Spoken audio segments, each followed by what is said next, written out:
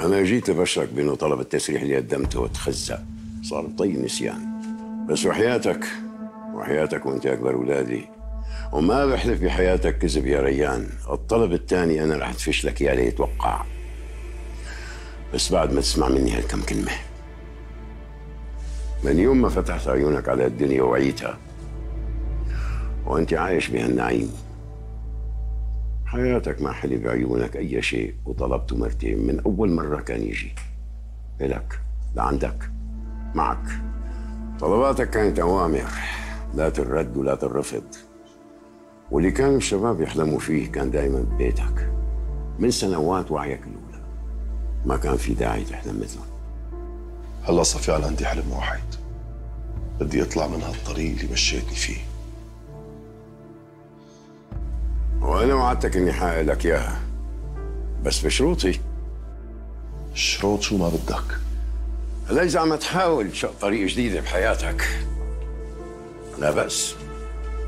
بس بدك تتحمل حر الشموس ولا تتخيل بيوم من الأيام أنك تتفيا بظل شجرة عم تحاول تبترع شو المطلوب؟ المطلوب إنك تكتب لي هلا شيك بالحساب اللي حاطط لك إياه بالبنك. وبتحسب حسابك هذا البيت بدي اياه بعد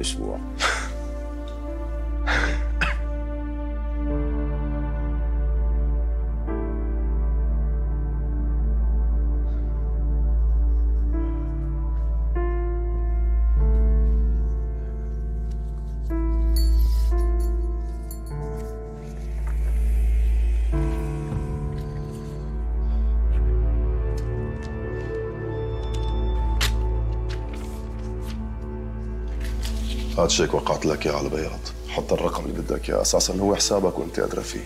اسحبهم وبالنسبة للبيت ما بدها أسبوع. شغلة يومين ثلاثة بكون فضيت لك إياه. أي طلبات تانية؟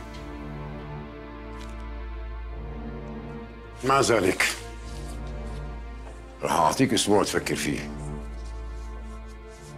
راح اتركك إياه لمدة أسبوع. خاصة إذا بيت على قرارك. أبوك وعد وابوك ما بيخلف وعده وانت بتعرف هذا الشيء هالمرة أنا رح أدفش لك طلبك ليتوقع أنا بس انتظر أيام سودة وسنوات أمر من العلقم ساعتها قسما بالله أنا أنا رح سد عليك طريق الرجعة